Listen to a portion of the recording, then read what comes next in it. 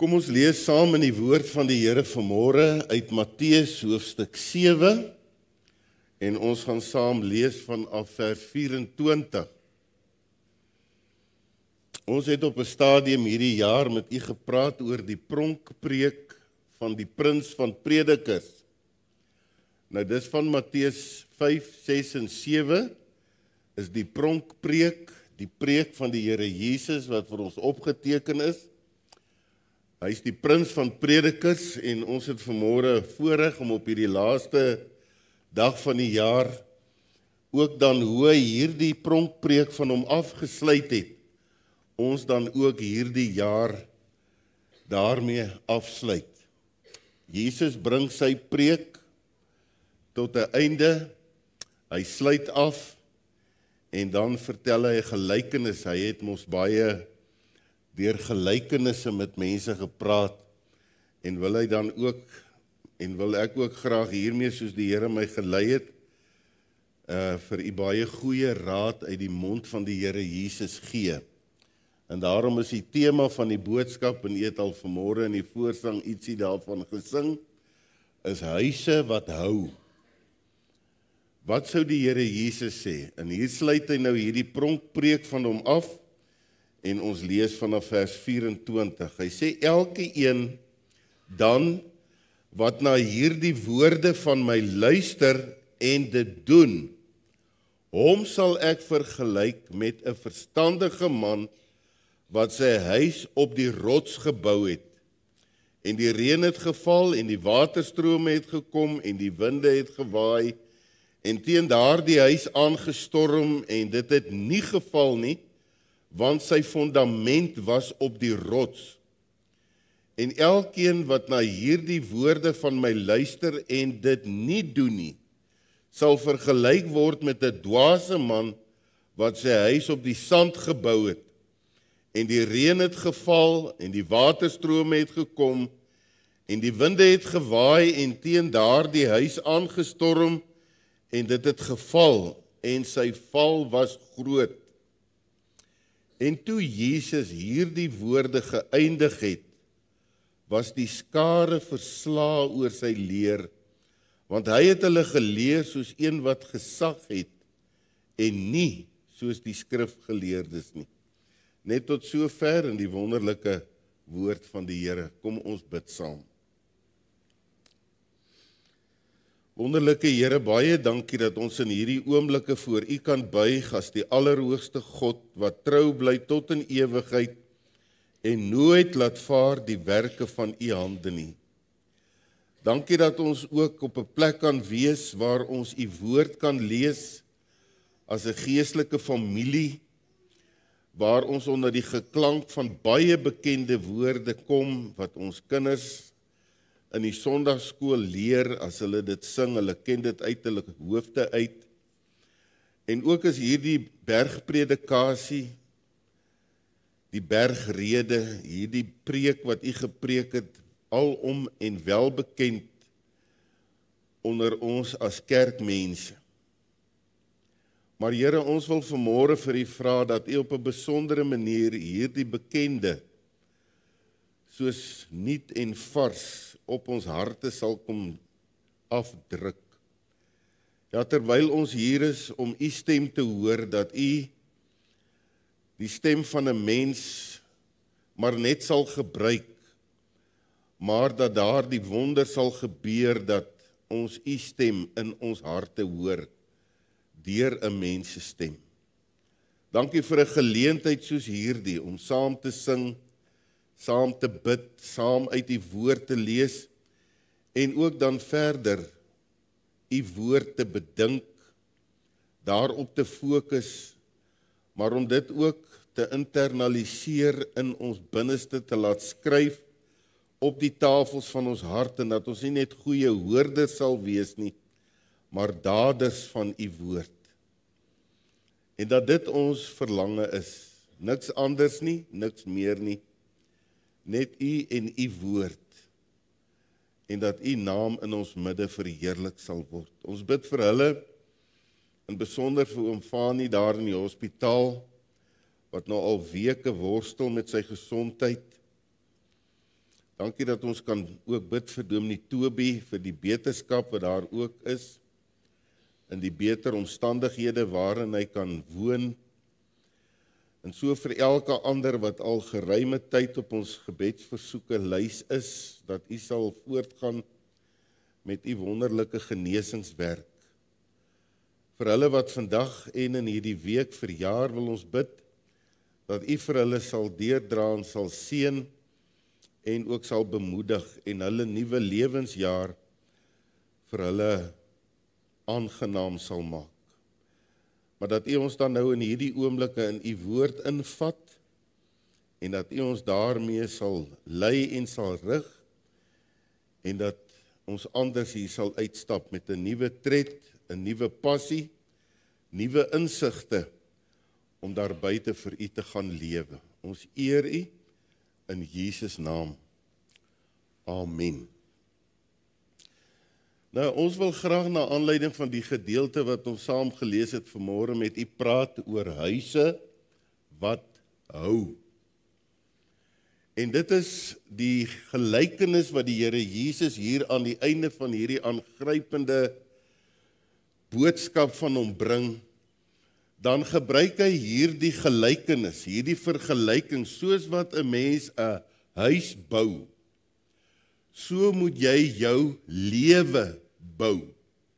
En as ons vanmôre met u praat oor hierdie huisbouprojek, dan gaan dit eintlik deur die boodskap wat die Here Jesus tuis bring in hierdie beeld wat hy gebruik hoe jy en ek 'n lewe op aarde kan bou wat hou. 'n Lewe wat die storms van die lewe kan trotseer om 'n lewe te bou soos 'n huis op 'n rots en nie soos op sand nie. Nou die Here Jesus het hierdie beeld gebruik omdat dit in die wêreld met wie hy gepraat het en dis ook belangrik dat ons sal verstaan met wie hy gepraat het en hoe dit dan ook met ons oor die 2000 jaar later praat. Nou in die tyd waarin die Here Jesus met die gehoor gedeel het, was 'n huisbouprojek al onbekend want baie mense het nomadies gelewe, met ander woorde, hulle het nie baie lank op 'n plek gebly nie, dan het hulle getrek. Maar daar's baie keer dan huise, woonplekke ingerig. En omdat dit 'n 'n meer gereelde situasie was as wat ons miskien beleef, weet ons ook vandag dat dit belangrik is dat daar sekere elemente is in so bouperseel wat ernstig van belang is. Nou in Jesus se tyd het mense uh voor die lente reëns getrek in die winter.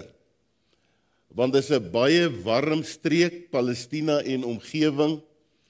En dan het hulle in die winter verkieslik getrek voordat die lente reëns kom. En nou is dit so interessant dat die Here Jesus dan hierdie preek van hom afsluit en hy hierdie beeld gebruik. Hoe belangrik dit is. En daarom is dit hierdie laaste paragraaf van die bergpredikasie, die pronkpreek van Jesus dat hy dan vir ons 'n lewensles kom leer. En dit dan nou ook op hierdie laaste Sondag van 2023 op pad na 'n baie onbekende jaar 2024 om 'n lewe te bou wat hou. In die vorm van hierdie gelykenis van die twee huise soos jy die een sien wat bly staan en die ander ene wat vergaan. Nou daar is twee baie belangrike aspekte in hierdie uh slotparagraaf van die Here Jesus. En die eerste is wat hy vir ons hier uit wil leer is dat huise wat hou se bouperseel, die perseel streng oorweeg moet word. Die plek waar gebou moet word moet goed ondersoek word. Dis die eerste belangrike ding van hierdie bouprojek. En die tweede is huise wat hou se fondasie moet op 'n stewige rots gebou word. Nou in hierdie twee gedagtes gee die Here dan hierdie boodskap vir ons vandag deur om huise wat hou te bou. Die perseel moet goed gekies word en die fondasie moet stewig op 'n rots gebou word. En dit is wat die Here Jesus dan vir ons in hierdie laaste uh paragraaf van die bergpredikasie wil kom leer. Die eerste dan huise wat hou se bouperseel word streng oorweeg. En as ons nou hierna kyk sal ons sien en is dit vir ons duidelik dat wanneer iemand en wanneer in hulle en hulle tyd in die wintertyd dan 'n huis bou dat hulle na die verlede sal kyk van die perseel wat hulle uitkies. Dis 'n bietjie huiswerk wat gedoen moet word. Dis navorsing wat gedoen moet word. Wat is die geskiedenis?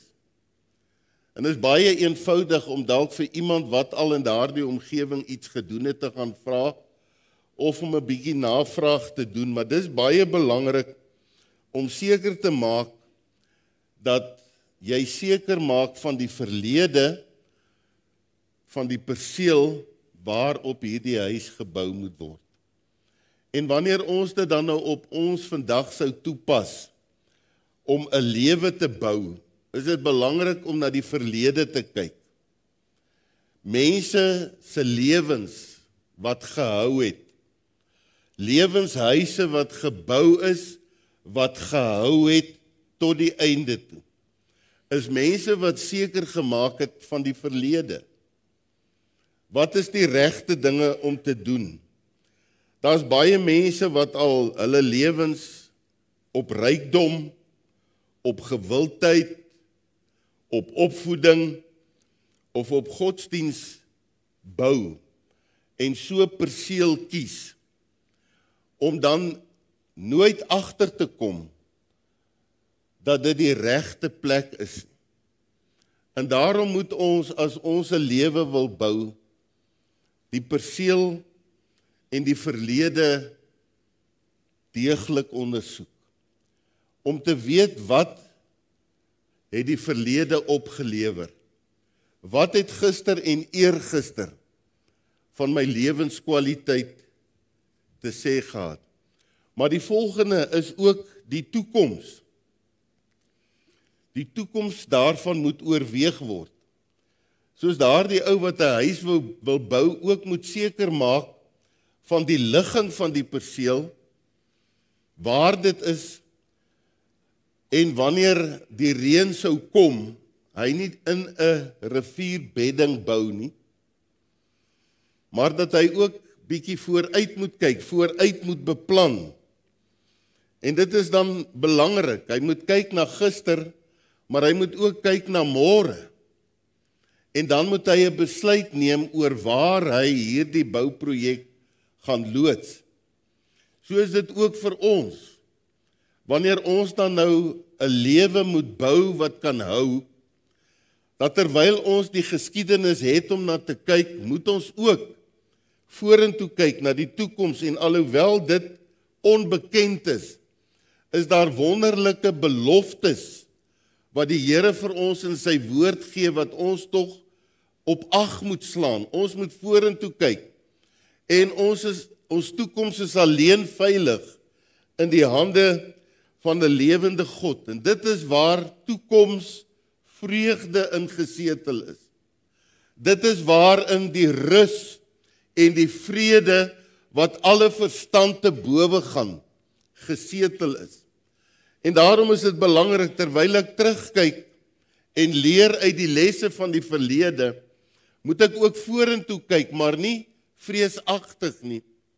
As ek na die toekoms kyk, dan weet ek as ek op Christus bou, is my toekoms veilig. En dis alles in hierdie gelykenis wat die Here Jesus wil deurgee. Maar dan wil hy ook vir ons sê as ons na hierdie perikoop kyk dat dit nie altyd die maklikste plek is vir 'n bouprojek die beste plek is Ons soek mos altyd kort paaie. Ons soek mos altyd om die hoeke te sny. Ons soek altyd die pad van die minste weerstand. En dis nou juis wat in hierdie gelykenis na vore kom dat dit nie altyd die maklikste oënskynlik die kortste pad die maklikste die die beste is nie. En in daardie tyd het hulle nie al die implemente of die masjinerie gehad om op rotse te bou nie en dat hulle baie keer gekies om maar die maklikste pad te volg en dit is waar jy maar sommer in die sand maklik kan grawe. En dit was vir daardie mense 'n groot versoeking om maar die maklikste weg te volg. En hierin sien ons vanmôre my broer en suster dat ons hierdie dure les by die Here Jesus op hierdie laaste dag van die jaar kom leer ook as 'n 'n 'n waarskuwing, 'n uitdaging vir die toekoms om 'n huis te bou wat hou, om 'n lewenshuis te bou wat hou vir tyd en ewigheid is die maklikste uitweg nie altyd die beste nie. En dat ons nie teen styl op die randes wat op ons lewenspad kom voor moet wegdraai nie. Dat wanneer ons deur 'n berg moet tonnel, dat ons nie sal terugduins nie en altyd die makliker en die kort paaie wil soek nie sodat dit vir my die minste moeite is.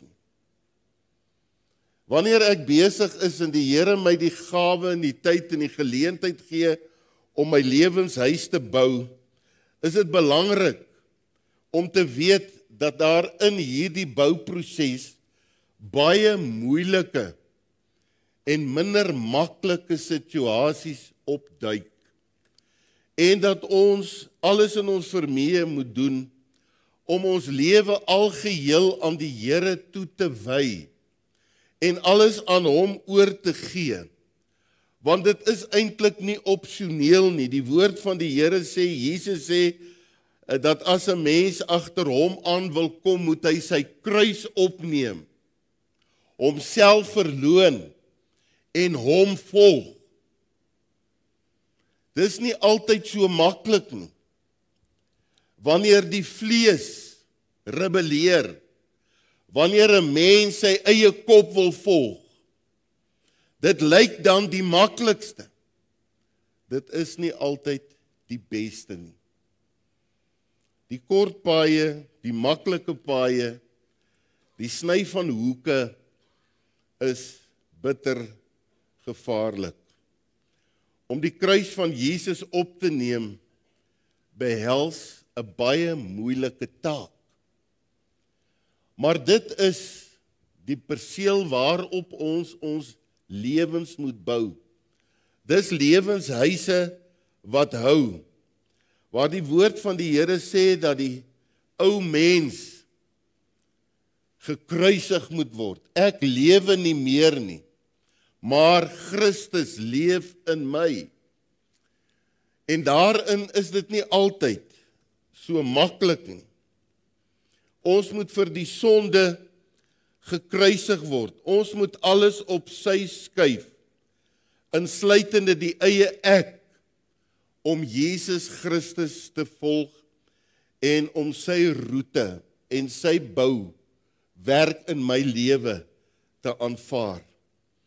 Dis nie altyd maklik om hierdie bouwerk te doen nie.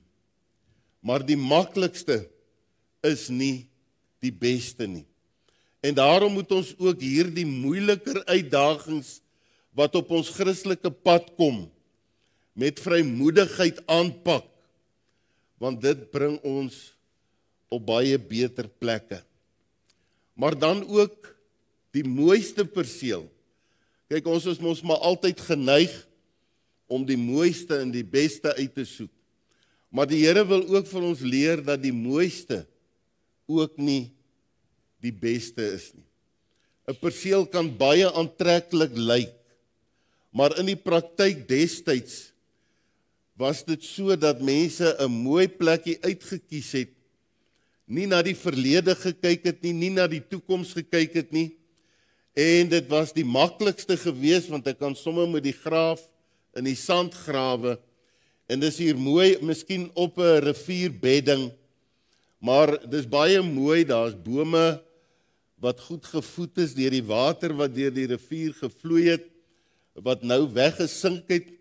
Die bome is mooi, 'n baie mooi perseel, maar dis ook nie altyd die beste nie. So dis baie belangrik dat hierdie perseel wat ons kies nie altyd die aantreklikste en die mooiste plek sal wees nie. En weet jy dit is so tragies my broer en suster ook in ons tyd vandag. En het ek daaraan gedink dat hierdie element van mense wat met hulle geestelike lewens se bouwerk besig is, soms ook die maklikste en die aantreklikste weg wil volg. My godsdiens moet my nie eintlik veel kos nie. En eintlik wanneer ons so by mekaar kom soos hierso, dan moet my emosies eintlik 'n bietjie gelig word. Daarom het baie eredienste in vermaaklikheidssessies ontaard. Want baie mense wil kerk toe gaan of wil die Here dien met wat hulle daar uit kan kry. Wat is daarin vir my? En so het ons al dit ontdek wanneer mense ook hier by ons kom besoek. As jy hulle later weer raakloop, hulle het nooit weer gekom nie dan kom jy agter maar ons bied nie genoeg nie. Nou ons sê vir geen vrees vir teespraak nie. Ons fokus hier is nie om vir u 'n maklike pad aan te wys nie.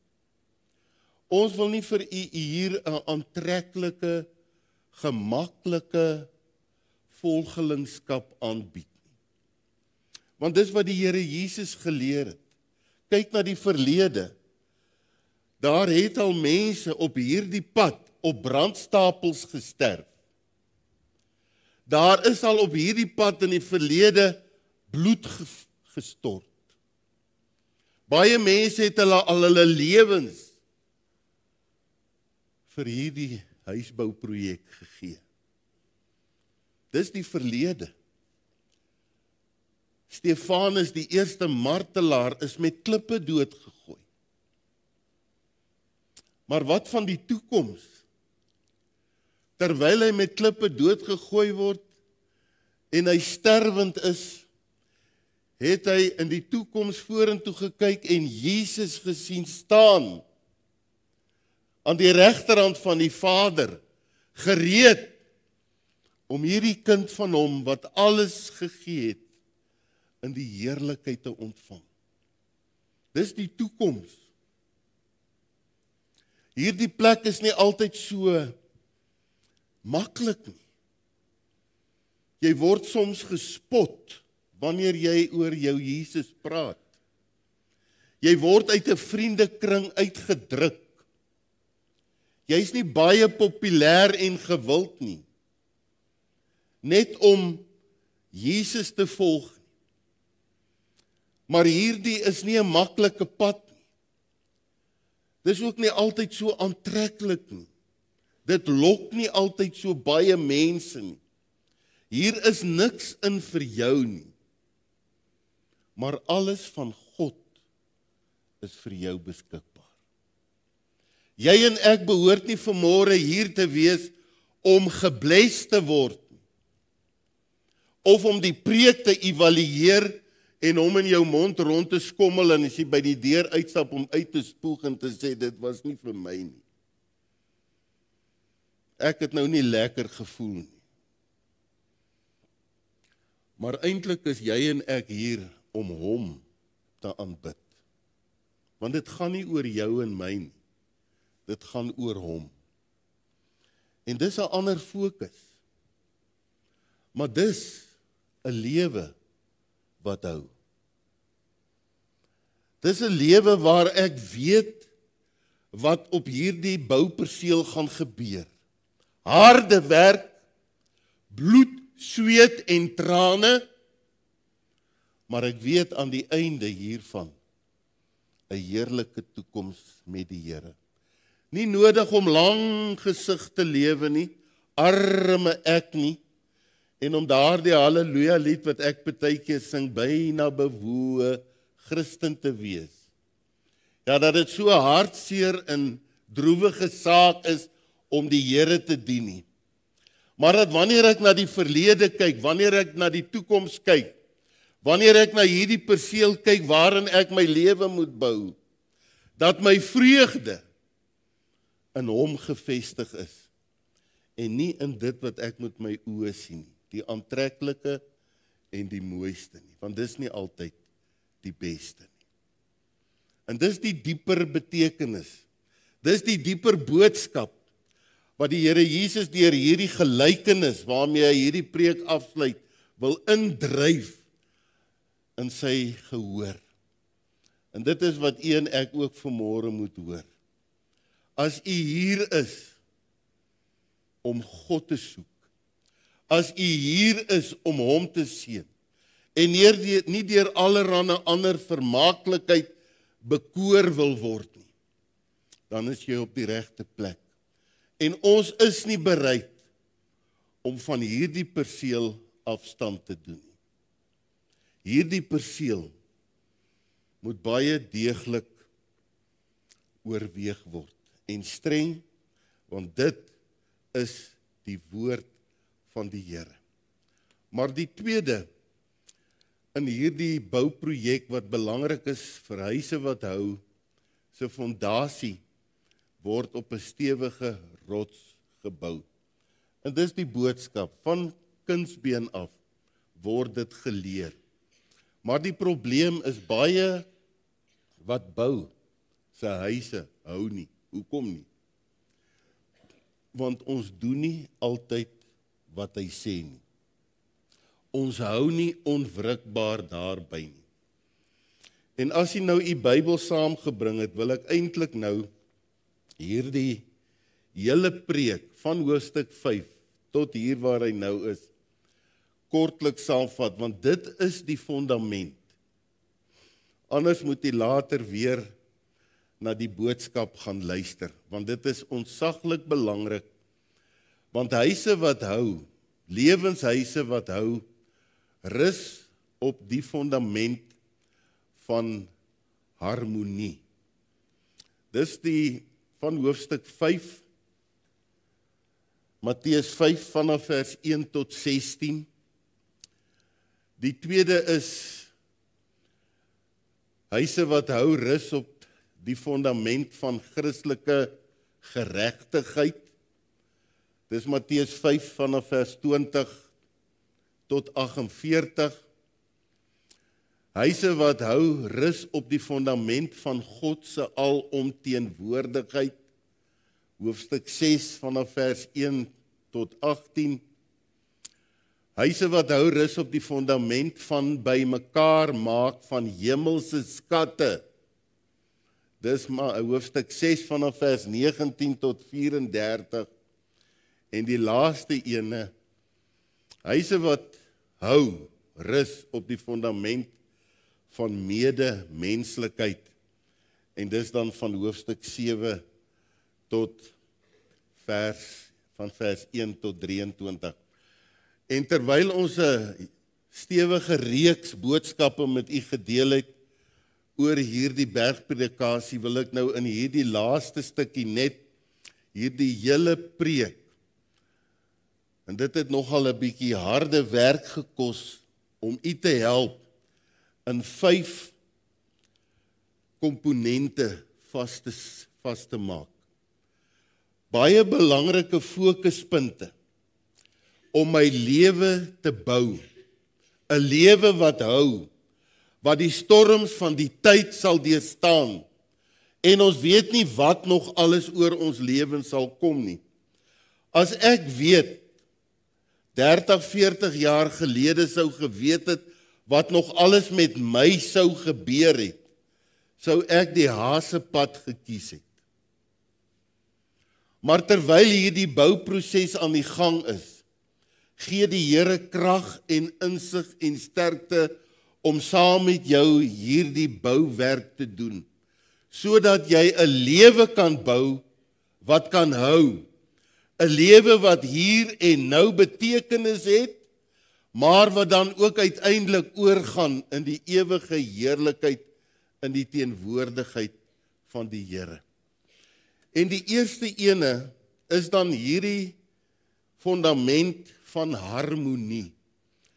My broer en suster, die Here Jesus leer vir ons met die saligsprekinge en dis waaronder ek hierdie uh saligsprekinge van die Here Jesus in die eerste van die hierdie preek in hoofstuk 5 met ons deel.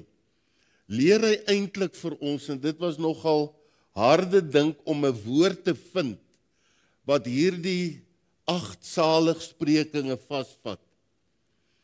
Dis die fondament, daardie fondament waarop jy 'n huis bou wat hou, is die fondament hierdie rots van harmonie waarop jy jou lewenshuis moet bou. Dit is die teenoorgestelde van om in konflik en in risies en in weerstand en in bakleierery te lewe.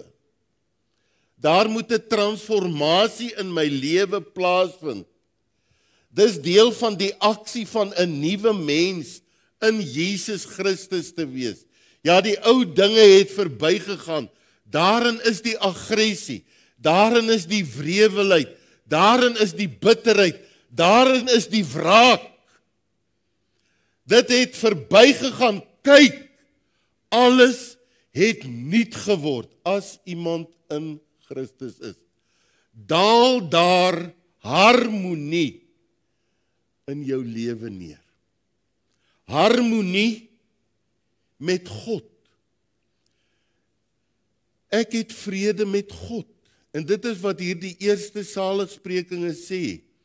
Hierdie totale afhanklikheid van God, harmonie met God want ek is so van hom afhanklik. Salig is die wat arm van gees is, want aan hulle behoort die koninkryk van die hemele. Salig is die wat treur, want hulle sal vertroos word. Salig is die sagmoediges, want hulle sal die aarde beerwe. Dit is mense wat in harmonie met God lewe. Arm van gees. Ek dink nie meer van myself as as ek van myself moet dink nie, want alles wat ek is, alles wat ek het en alles wat ek ooit hoop om te wees, het ek aan God te danke. Ja, ek is arm aan my eie menslike arrogante gees. Dis om in harmonie met God te leef. Treurend. Iemand wie se hart sag geword het. Iemand met 'n hart wat omgee vir ander. Wat nie hard gebak is en oor ander mense loop nie. Maar iemand Ons het mos groot geword met cowboys don't cry. As jy nog nie 'n traan gestort het nie, weet ek nie of jy al ooit vrede met God gevind het nie, want hy vermurwe jou hart. Ek het al groot manne van 6 voet 5, 6 voet 10 wat voor God gebreek het. Nou, dis een van die mooiste dinge om hierdie macho manne gebroke voor God te sien treurende. Want hy het harmonie met God gevind. Hy hoef nie meer te beklei vir sy bestaan op aarde nie. Hy hoef nie meer op sy eie regte te staan en daarvoor te veg nie. Salig is die wat treur, want jy sal troos vind by God. En salig is die wat sagmoedig is. Nou hierdie sagmoedigheid beteken nie om 'n vloermat te wees waaroor almal kan loop en hulle voete oor afvryf nie. Maar die beeld wat hier gebruik word in die oorspronklike taal is 'n perd wat met 'n teel ingebreek is. Nou kan jy daai perd bestuur. Jy kan daai perd bestuur. 'n ingebreekte perd, 'n wille perd in die teels van die Here. Want jy het vrede met God, harmonie, vrede met God. maar ook harmonie met jouself. Vrede met jouself. En dikwels impliseer dit 'n ontevredenheid met jouself. Daar's voortdurend 'n honger en 'n dors. En dis wat hy in hierdie saligspreking sê, salig is die wat honger en dors na geregtigheid want hulle sal versadig word. Ja, daardie diep gewaarwording in myself dat ek het dit nie, maar ek soek daarna. Daardie voortdurende nou dis nie altyd so aanloklik nie, dis nie altyd so lekker nie. En ek het al baie keer vir my gesê, hoekom kan ek so ontevrede raak? Nie 'n sondige ontevredenheid dat jy nie waardeer wat jy het nie, maar 'n geestelike ontevredenheid soos 'n hert in dorre streke smag na God. Dis wat hy sê, hierdie ontevredenheid met jouself. Met daardie honger en daardie dors voortdurend na God. Die lelikste in huise wat nie hou nie, is Christene wat selftevrede raak. Wat so in 'n gemaksone verval asof hulle alles weet en nou al alles bereik het. Niemand kan my iets leer nie. Die holy Joes. Die holier than thou. Wat uit die hoogte op ander neerkyk. Dis nie harmonie nie. Dis arrogansie. Sulke huise wat selfs binne die kerk gebou word, hou nie. Maar om hierdie ontevredenheid te handhaaf, hierdie soeke na meer en na meer. Ons het vanmôre gesing, stuur dit hierheen, Heer. Stuur dit hierheen. 'n Magtige herlewing. Stuur dit hierheen. Dit kom na hongerharte toe. Dit kom na kinders van God wat ontevrede is met hulle geestelike lewens en dors en smag na God. Dis 'n lewe wat hou. Wat voortdurend smag. Maar om harmonie te hê en hierdie private gemeenskap met God te handhaaf as ons in vers 8 van hoofstuk 5 lees waar Jesus sê salig is die wat rein van hart is want hulle sal God sien. Dis daai voortdurende private ek en God. Ek en hy, nie ons nie. Ek. Daardie private ingesluitheid in die teenwoordigheid van God, ek en God. En dat my lewe tot sy eer sal wees dat ek 'n rein hart sal soek. 'n Hart gewas en gereinig deur die bloed van die Here Jesus. So skoon soos sneeu, so wit soos wol.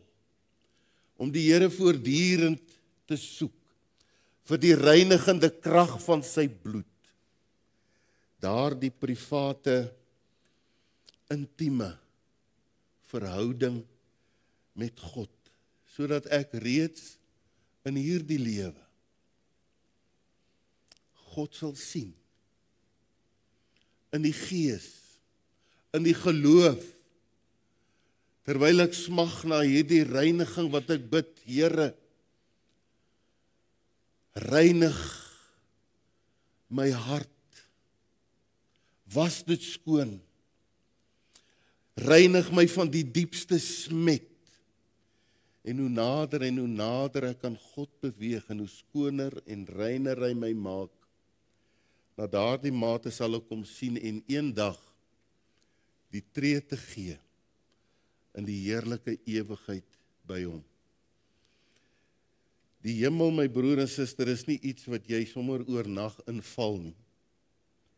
Die hemel is nie 'n plek wat jy soos 'n vet gesmeerde varkie deur jou vingers glip in die hemel inglip nie. Party dink jy woordswaard sommer net so in die hemel is 'n plek vir voorbereide mense. Nou as jy die kerk nie kan handle nie, weet ek nie wat wie in die hemel gaan maak nie. As die kerk vir mense irritasie is, as daar oor die Here Jesus gepraat word en getuig word en mense trek hulle neuse op.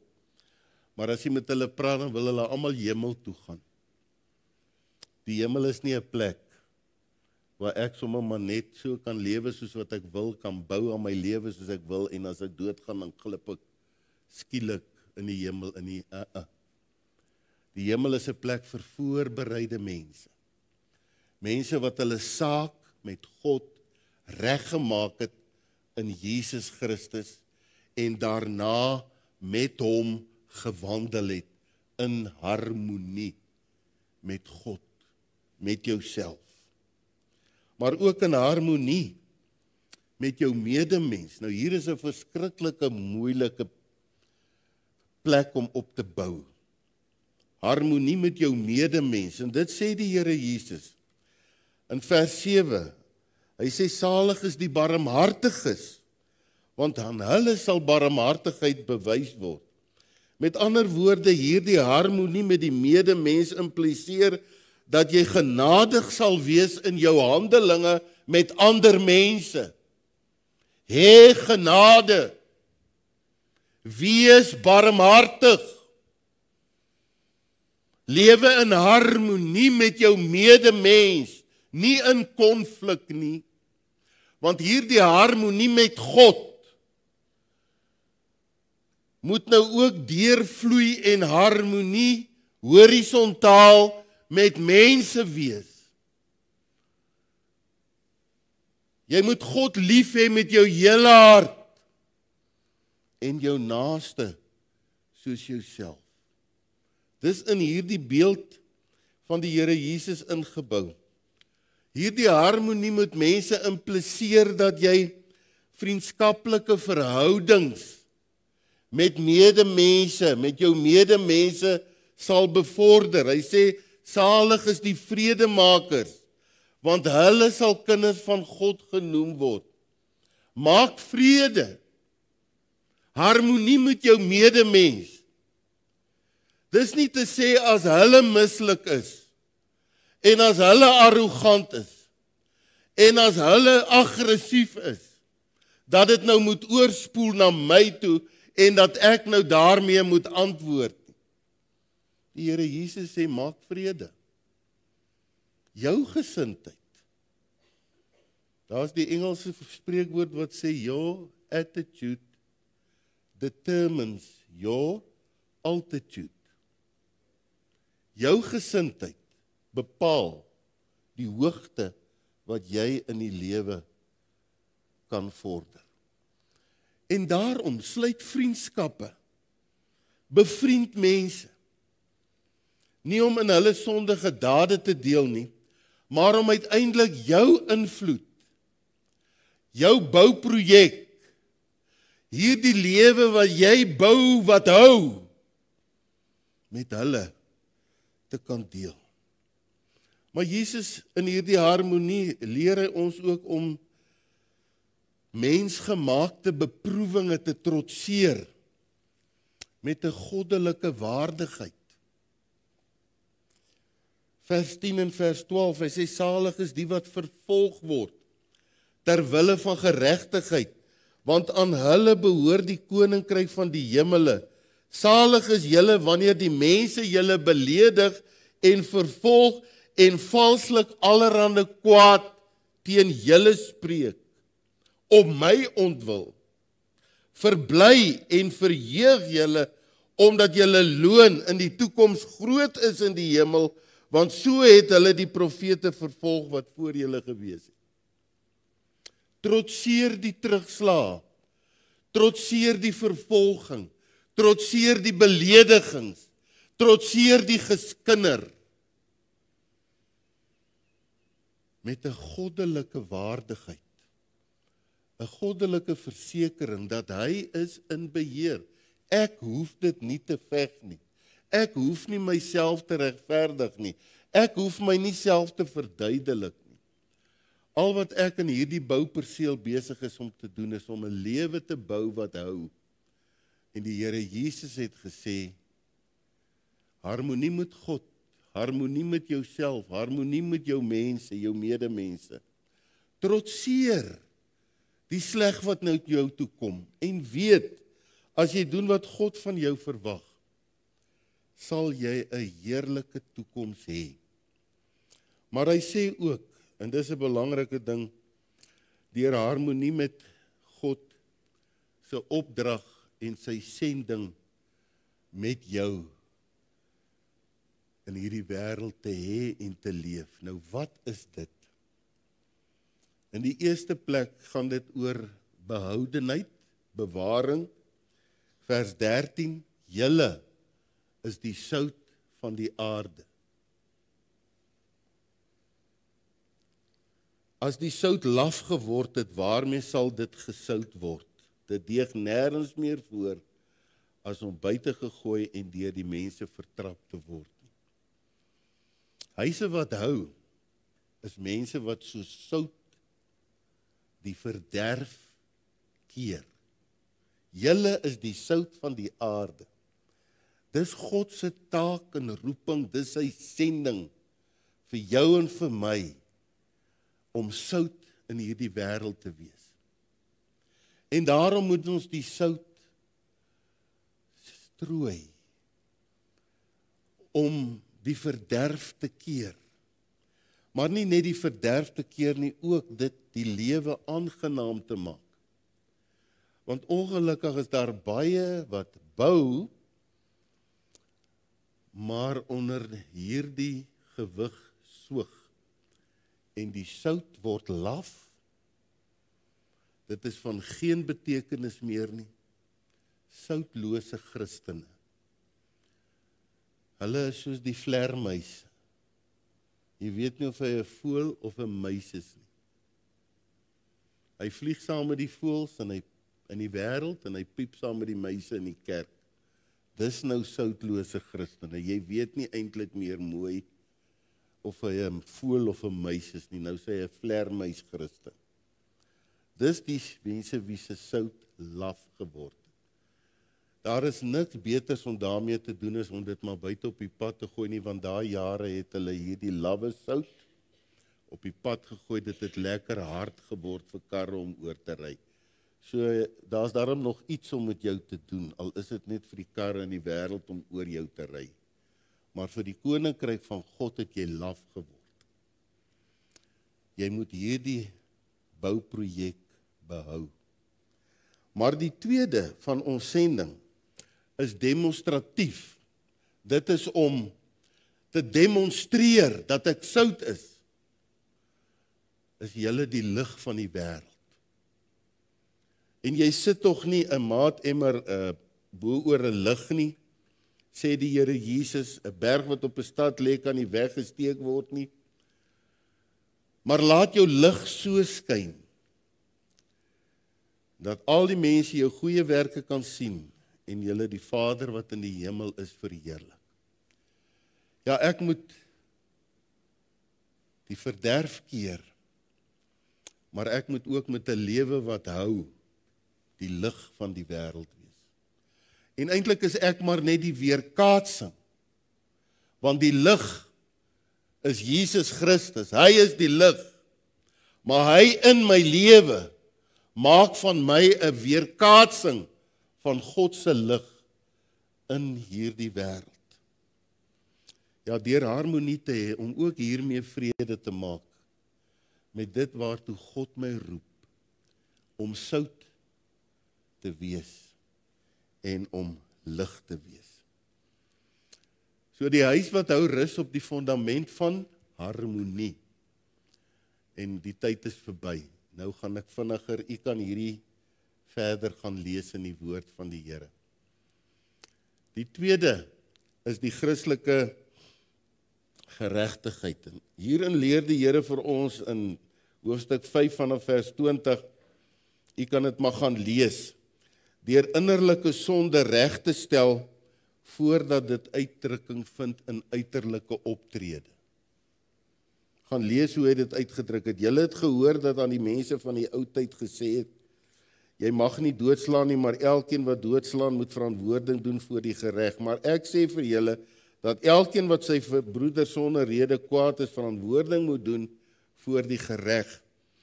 En as jy verder gaan lees, dan sal u sien ons moet woede korrigeer.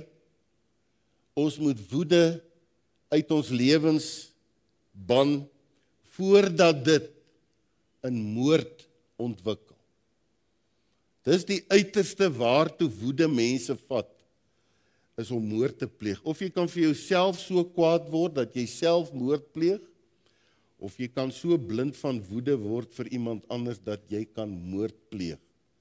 Nou baie van ons kom nie daartoe nie. Maar in die tussentyd gebruik ons ons tonge soos dolke om mense dood te steek. Ek kom nooit by daai moord uit nie. Dat ek iemand se lewe neem nie. Maar hoeveel van ons het nie al mense met ons tonge doodgesteek nie? En ons moet met daardie aggressie deel.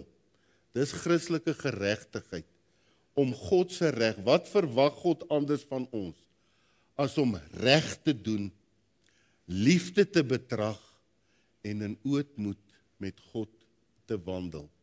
Micha 6 vers 8. Maar hy sê ook hierdie geregtigheid is dat ons ons welis moet korrigeer voordat dit in oorspel omsit. Interessant dat die Here Jesus hierdie twee gruwelike goed gebruik. Woede en welis. Nou woede moet gekorrigeer word voordat dit in moord omsit en welis moet hanteer word voordat dit in oorspel omgesit word. En wanneer jy hierdie korreksies in jou lewe doen, is jy besig om 'n lewenshuis te bou wat hou op die rots.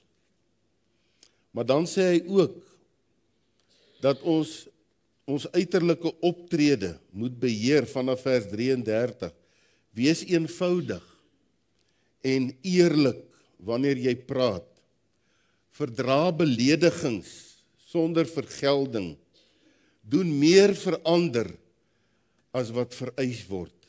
Dit is alles tot en met vers 42 van Matteus 5. Deel onvoor onbevooroordeelde liefde vir die onbeminlikes. Vers 43 tot vers 47. Gaan lees dit in die woord van die Here. Die derde een, huise wat hou rus op die fondament van God se alomteenwoordigheid. Nou daardie hoofstuk 6 gaan daarin dat ons voortdurend bewus moet wees van God se teenwoordigheid in ons lewe. Dis die resep, dis die geheim vir 'n huis te bou wat hou. Wanneer ek dinge doen. Wanneer ek bid, wanneer ek vas, wanneer ek met mense te doen het. Doen dit in 'n bewussyn van God se teenwoordigheid. Ek is nie hier om mense te please nie. Ek is nie hier om mense te beïndruk nie. Maar om alles wat ek doen, te doen in die teenwoordigheid van die Here. Gaan lees Matteus hoofstuk 6. Dit bring my by die volgende ene: huise wat hou rus op die fondament van bymekaar maak van die hemelse skatte. Nou dis baie bekend vanaf vers 19 tot 34. Jesus leer vir ons hier dat deur materiële besittings dat ons materiële besittings verstandig moet gebruik. Dis wat die Here Jesus ons leer vir 'n lewenshuis te bou wat hou. Alles wat aan ons materieel geleen word om dit verstandig te gebruik. Deur God se wil die voorwerp van jou lewe te maak. Met ander woorde ook wanneer dit by materiële dinge kom en by al die talente wat ek het om hemelse skatte bymekaar te maak, beteken ja in die eerste plek om my besittings verstandig te gebruik, maar ook om God se wil dan hoogste prioriteit in my lewe te maak. Maar om hom dan ook te vertrou vir materiële behoeftes. Matteus 6:25 tot 32. Want alles wat ek het, alles wat ek ooit hoop om te hê, is genade van God. En dis waar oor 'n lewe gaan wat hou. Dis 'n lewe wat sy besittings verstandig gebruik wat die wil van God eerste voorwerp van sy bestaan maak en om die Here ook vir my materiële behoeftes te vertrou en om niks van selfsprekend te aanvaar nie. In die laaste die huis, 'n huise wat hou, rus op die fondament van medemenslikheid. Matteus 7 vers 1 tot 5. Moenie kritiseer nie. Vers 6 tot 14 behandel antagonistiese hardkoppige verlore siele met versigtigheid en behandel hulle soos wat jy behandel wil word. Moenie hulle skel en vloek en vir alles wat sleg is afmaak nie. Maar besef dat dit God se genade is wat is wat jy is. En dat jy bid dat God se genade ook daardie arrogante, verlore, antagonistiese siel sal bereik. En dan sê hy ook in vers 15 tot 43: Wees bewus van al die dwaalleringe. Maar laat God die dwaalleraar straf. Moenie jy hom oordeel. Baie sal vir my in daardie dag sê, ons het dit gedoen, ons het dat gedoen. Here, kyk wat het ons gedoen? Wat het ons gedoen? Dan sê die Here, ek het jou nooit geken nie. Los dit vir die Here. Moenie mense wat dwaal, mense wat op valse fondamente bou, oordeel nie. Bid vir hulle. Dis die fondament van medemenslikheid. Wees Jesus. Leef Jesus. En bou 'n lewe wat hou vir nou en ook tot in ewigheid. Dis die uitdaging aan die einde van die pronkpreek van die prins van predikers Jesus Christus. Dis nie my idees nie. Dit is sy idees. Dis sy bouprojek. Dis die projek wat hy vir jou en vir my aanbied. Gaan luister weer hierna. Gaan lees die bergpredikasie, gaan lees hierdie pronkpreek en verdiep jou in die woord van die Here en bid en sê Here, ek wil my lewe op aarde op die regte perseel bou maar ek wil ook bou op hierdie rots dat wanneer die storms kom wanneer die beproewinge kom wanneer die stryd kom wanneer daar winde aan my lewe aanblaas dat dit op die rots sal wees op die fondament Jesus en dat dit deur die storms sal bly staan. 'n verstandige mens en nie soos 'n dwaas wat nie na die verlede gekyk het nie, nie oor die toekoms ge-worry het nie, die mooiste en die aantreklikste en die maklikste weggevolg het en nie al hierdie ander beginsels in die koninkryk nagekom het nie en toe die winde kom het dit geval en nou sê Jesus en die val was groot dis elende. So ek bied vir u vanmôre uit die mond van die prins van predikers die pronkpreek om lewenshuise te bou wat hou. In gebed in Matteus 5 tot 7 gaan verdiep jy daarin en maak dit jou nuwe jaar voorneme. Om in 2024 met hierdie bouprojek besig te wees in te klim en 'n huis te bou wat hou.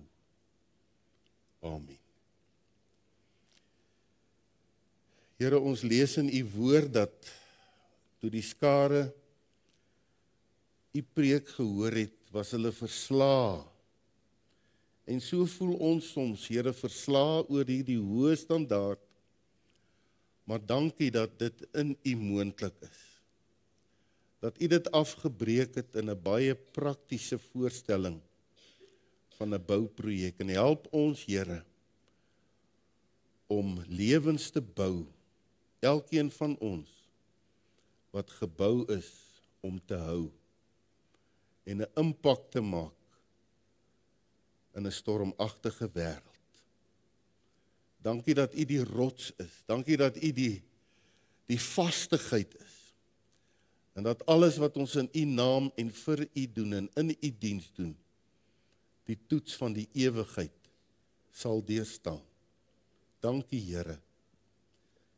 Ons eer U, ons aanbid U. Gaan voort met U wonderlike werk. Amen.